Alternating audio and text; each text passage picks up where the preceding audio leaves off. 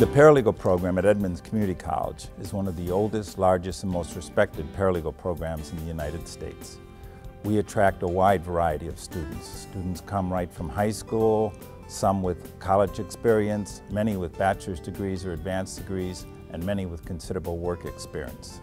Paralegal program uh, not only uh, trains students to become paralegals, but uh, the skills they learn in our program are uh, valuable in any occupation that has any connection with the law.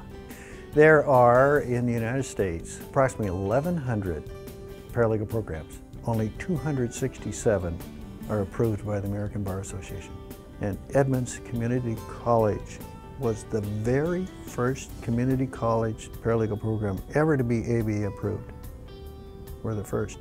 Students in the paralegal program can start any quarter also, they can start day or evening, full-time or part-time.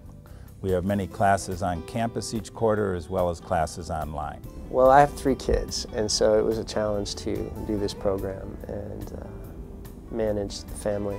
But I was able to, uh, in large part because there's flexibility in choosing between day classes, night classes, and online classes. I'm naturally an organized, detail-oriented, analytical person who enjoys helping people. And being a paralegal, I get to do all of those things. I really feel like it's a great fit for me, and the Edmonds program helped me to have a good start.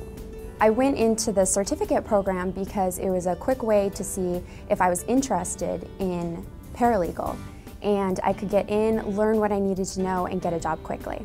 The classes have been fantastic. All the faculty were practicing attorneys, uh, so they have great experience working with paralegals and know exactly what we need to do to become a great paralegal. The faculty were outstanding. They knew their content very well, were always willing to help with any questions or problems, and I really felt like they did a good job of focusing us on kind of the real world versus just academia. I have worked at the Attorney General's office as a paralegal for the past 20 years. The paralegal program at Edmonds Community College is, is one of the best and most respected programs in the state. Uh, this office has a high regard for students that graduate from the paralegal program at Edmonds, uh, as attested by the numerous students that are currently working in the office.